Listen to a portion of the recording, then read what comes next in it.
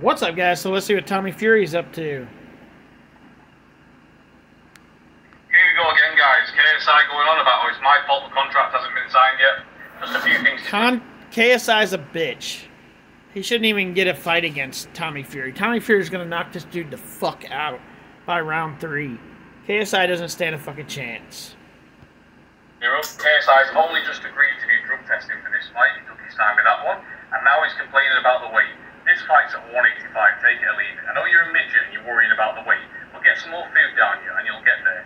If you just don't want to fight, I know somebody who will fight in October, somebody who's ready to fight, and he will get to 185.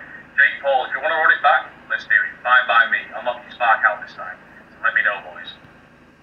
You couldn't knock Jake Paul out last time, and Jake Paul knocked you down. You kicked his ass. I, I'm a big Jake Paul fan. You definitely fucking whooped his ass in that fight. But you didn't drop him last time. What makes you think you're going to drop him this time? Like, Tommy Fury is not that great. Like, his brother, fucking awesome. Tommy Fury, eh, not really. Just not really.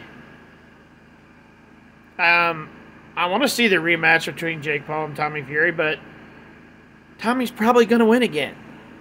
So, we'll see. We'll see if they even. I know he could whoop KSI's ass. We already know that. Like, three rounds knockout by Tommy Fury knocking KSI's ass out. Three rounds.